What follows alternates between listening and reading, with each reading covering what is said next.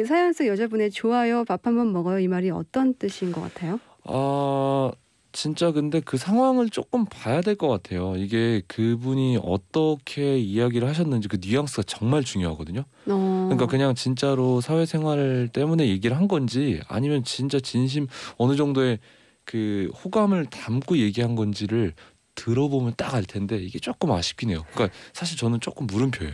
어. 아니 왜냐면은 네. 보통은 그냥 아, 아, 예 이렇게 음, 표현을 할 수도 있고요. 네. 아니면 아, 저 남자친구 있어요라고 얘기할 수도 있고 음, 정말 싫다면 아, 네 네, 그렇죠. 뭐 아니면은 뭐 지금 썸 타는 사람이 있어요 해- 할 수도 있는데 네. 이분은 어 진짜로 우리 나중에 따로 밥 한 번 먹을까요 라고 얘기한 거는 네.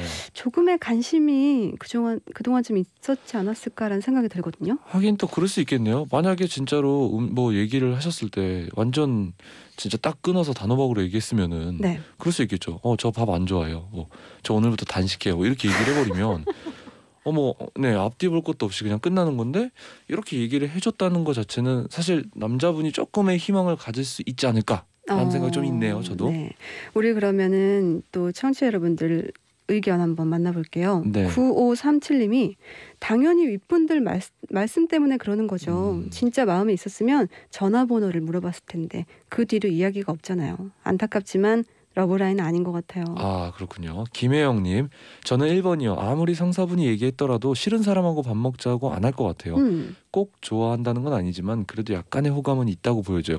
화이팅 하세요? 맞아요. 보통 만약에 제가 그랬다면 음, 아, 네, 네 그냥 이렇게 하고 말았을 것 같아요. 그쵸. 그냥 짧게 네, 단호박이죠. 네. 네, 저 좀 단호박이죠. 네, 확실하죠. 그랬을 텐데 이렇게 이야기를 음. 길게 했다는 거는 조금 마음이 그래도 나쁜 건 아닌 것 같은데 음, 음. 자 그리고 김기현님. 네? 어, 어, 네. 말씀하세요. 네 김기현님 네네. 3번 아직은 잘 모른다 그 멘트보다는 그 멘트를 했을 때의 눈빛이 더 중요하거든요 여자분 눈빛이 어땠나요 사회생활하는 눈빛이었나요 아니면 황바울 씨가 미연 씨를 바라볼 때 꿀똑똑 눈빛이었나요 사연 보내신 분 다시 좀 알려주세요 하셨어요 음, 그러니까요. 그 상황이 되게 눈빛. 중요한 것 같아요. 아, 좀 봐야지 알 것 같다 생각이 좀 들고요. 네. 어, 이묘식님 1번이요. 마음이 없었으면 대부분 철벽을 치죠. 전 연애 귀찮아요. 저는 연애하는 거 별로 재미없어요. 일만 할 거예요. 이런 식으로요. 근데 밥 먹자는 건 일단 만나보자. 뭐 이런 의미입니다. 저는 그린라이트. 아 맞아요 진짜 사랑이라는 건 좀 어려운 것 같아요 음, 알 수가 어렵죠. 없거든요 어려워.